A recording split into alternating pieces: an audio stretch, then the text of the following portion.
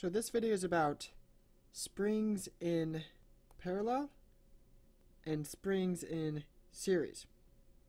If you've seen these equations before, but you want to know the concepts where these equations come from, this is a good video to watch. A lot of people just memorize these equations, but I found that it's really good to know, you know, where these equations come from because if you know the details of where these equations come from, you're really going to have a firm grip on all the little details of what you do when you see springs in parallel and series and what it all means. So we have this word equivalent in engineering, equivalency.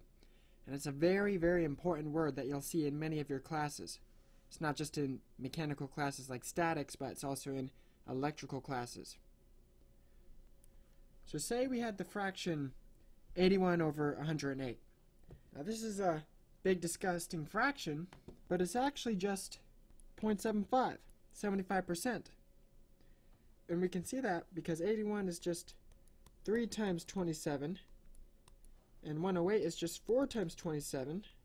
And if, we, and if we just eliminate this common factor of 27, we can simplify this to a much nicer looking 3 over 4, which is still equal to that same 0.75. So this is the idea of equivalency. This is much simpler.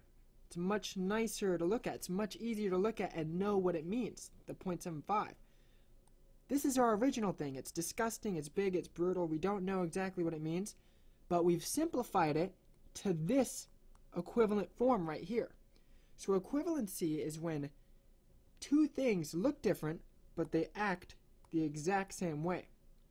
So a lot of times in statics, we'll see something disgusting that looks like that, and we'll want to simplify it to something much nicer to look at. But again, they both act in the exact same way. That's exactly what we want to do with these spring systems. These three springs look gross. What we really want to do is we really want to simplify this system right here into just one spring that acts the exact same way as this does. And when I say acts the same way, I'm saying that this simplification will stretch the same as this original and have the same force as this original system. And same thing for springs in series. If you ask me, this looks even more disgusting than the springs in parallel. We want to find one spring that acts the exact same way as this trio, this system of series springs. So let's dive into it. Let's focus on the parallel springs right here. So let's say I grab this bar right here and pull it to the left. These three springs are going to fight against me. So if I pull with the force of 10 newtons or something, you know, this one may pull with 2, this one may pull with 3, and then this one may pull with 5 newtons. I know that the forces in these springs will probably be different because each one of their stretches, each one of them stretches the same. But each one of their K values is different. So therefore, the force each one of them outputs will be different. So if I pull with 10, I'm going to feel 10 newtons of force pulling against me. This entire system pulls with 10 newtons of force. So, don't you think that the equivalent spring should pull with 10 newtons of force? So let's mathematize that. We'll say that the force that the equivalent spring produces must be equal to all of the forces of those component springs added up. So that is the statement we open with. Again, our equivalent spring that we're looking to create must act the exact same way as this system in terms of both force and stretch.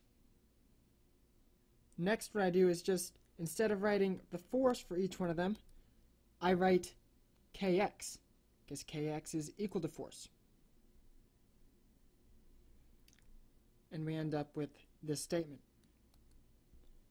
So it's easy to tell that each one of these springs here will stretch by the same amount x. Well, therefore, our equivalent spring must stretch, must stretch by that same distance as well. So therefore, these numbers right here, each one of these x's should be the same. All of these are the same, and therefore our equivalent must act in the same way as well. So therefore, each one of these x's is equal to each other, is the same number, and therefore we can cancel it out of this equation. And if we do that, we are left with this result. So I know if I see some springs in parallel, I can just add up each of the stiffnesses to simplify this parallel system into one spring that acts the exact same. This spring right here, with the K value of 150, will stretch the same as our original system, and it will create the same force as our original system. And of course, this, again, going back to equival equivalency, this looks a lot more simpler than that. And, it, and this often helps in solving engineering problems, dealing with the simpler version. So let's talk about our series springs. And let's imagine again that I stretch this whole system. I pull this end to the left and this end to the right. Of course, you can imagine that each spring is going to stretch such that this entire system stretches. So when I grab hold of the system and stretch it, I'm going to feel my hands move away some total distance.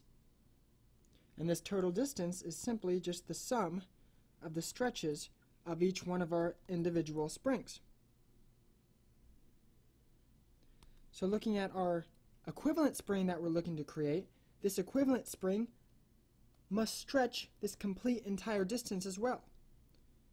So I'll say that the stretch of our equivalent spring must equal the total stretch that our system behaves with. So this right here is the statement that we start with.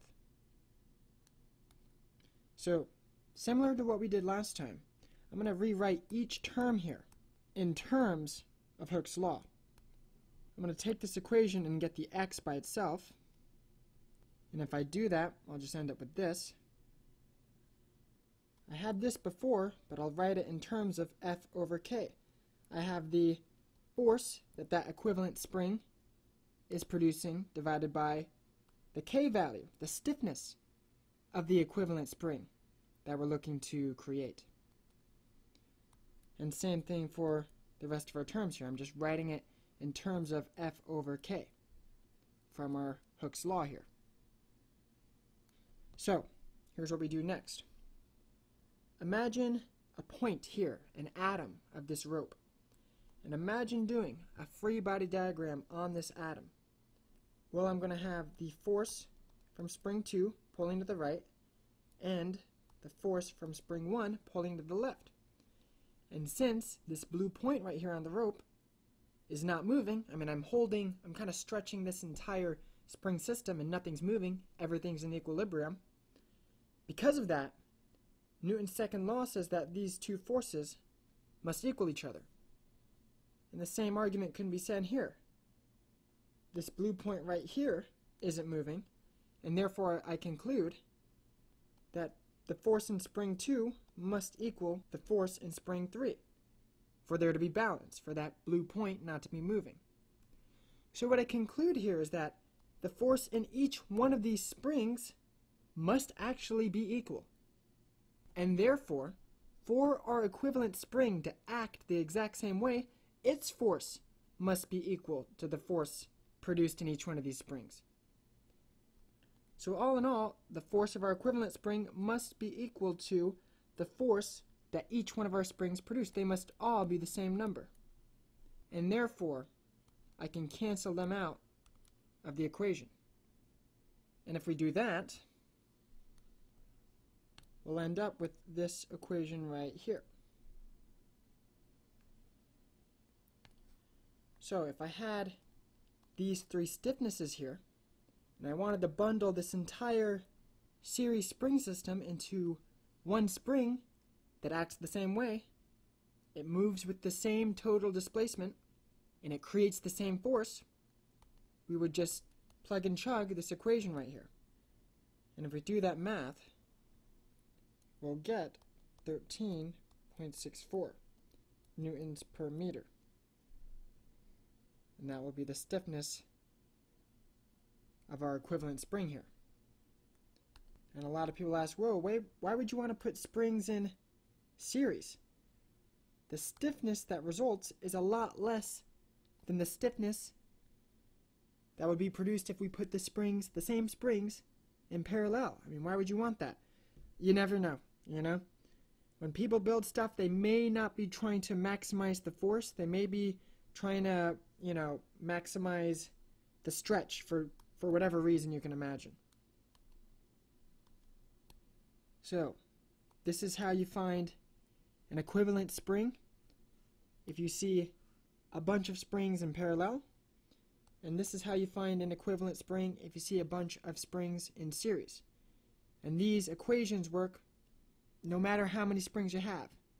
You can just imagine that, you know, you keep adding terms here, and over here, you just keep adding 1 over k4, 1 over k5, etc.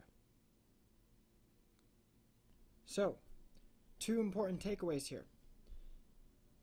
Springs in parallel combine forces, their forces add up, and they all move with the same stretch slash compression.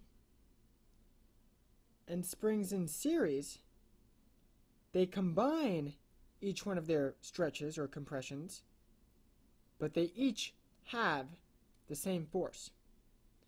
These are very, very important details that you want to make sure you have ingrained because sometimes you'll be working the opposite way. You'll be taking this guy in, splitting it back down. You know, you want to really have internalized these details so you can really work fluidly with spring systems. And the best way to internalize this stuff is to derive these equations right here. See if you can take yourself through the same conversation we just did, the same arguments, the same visualizations and reproduce these results.